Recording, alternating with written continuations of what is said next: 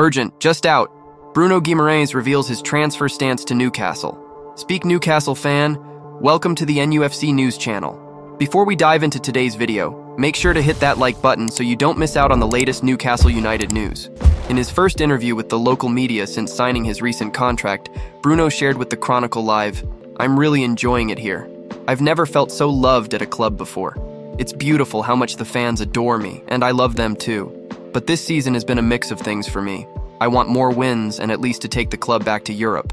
Bruno has penned a renewed contract with Newcastle until 2028 and expresses his satisfaction with the experience so far, yet remains focused on the next 15 Premier League games. He assures that he won't leave Newcastle United until he's secured a significant trophy with the Magpies. We want to hear your thoughts. Did Bruno Guimaraes make the right decision in renewing his contract with Newcastle United? And if so, what impact do you think he'll have on the team?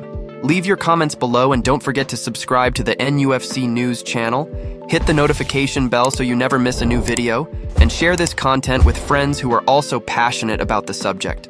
Together, let's further enrich our Newcastle United fan community.